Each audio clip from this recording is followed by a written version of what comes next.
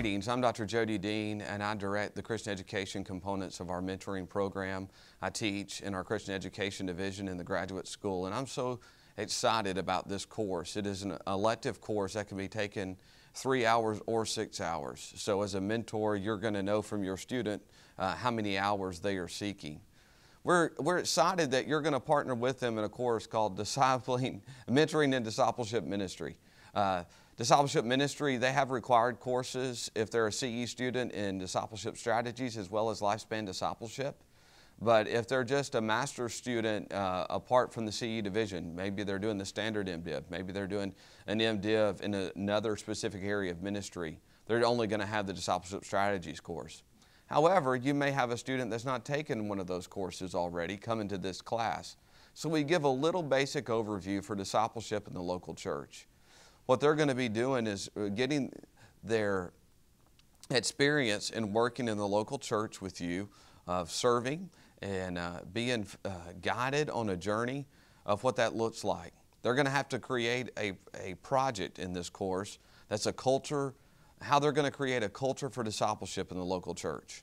We're not really looking for a strategy as much as how are you going to convince the people they need to commit themselves to a lifelong process of discipling people, investing in people by mentoring them individually, by having a small crowd around them, by being committed to small group ministry, and still from the crowd of where we see ourselves in front of a, a large group of people rightly dividing the word of truth behind a pulpit. What does that really look like in the local church today? And so this course is going to create, I hope, some great conversations because many churches are trying to figure out what the new path is for them. They're, they may be doing Sunday school, some are doing home groups, some are going to a triad uh, look of a few people, smaller uh, scale, uh, if you will, than a gathered group of people.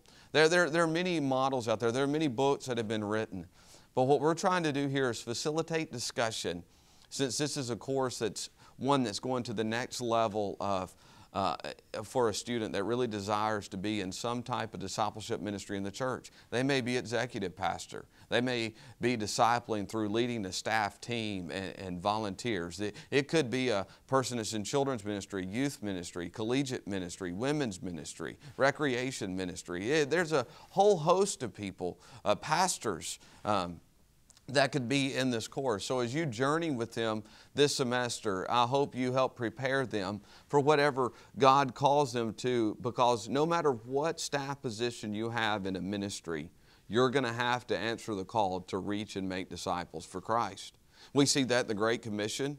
We see what we're supposed to do individually in the Great Commandment. You know these things. And we're so excited as their mentor that you're going to sit down with them for one hour a week, that you're going to talk through life with them. There's going to be some questions that the students prompted to bring to the mentor meeting. There's going to be life issues they may bring to their mentor meeting. But as the mentor, you're just going to be there for them. You're going to help facilitate the discussion hopefully you'll pull from your own life, your own experience, and truly have that Paul Timothy relationship where someone further along on the journey is pouring their life into someone coming uh, to the starting place of their journey, or they're really on the on ramp of getting started, getting their feet under them of life experience. So I hope that these are rich times for you uh, to invest your life this semester as you meet weekly. We are praying for you. We are here for you in our office, so you can contact my office at jdean at nobts.edu. You can contact our mentoring office. We have a great associate dean and Dr. Rice that you can contact with any questions about our mentoring program in any of the courses. You may have already been a mentor in another class, and we just thank you for your commitment to invest in students that have been called to ministry that are walking through this journey. The discipleship is going to be the focus this semester, and the conversation is going to go a multitude of ways. Thank you for pouring your life into the student.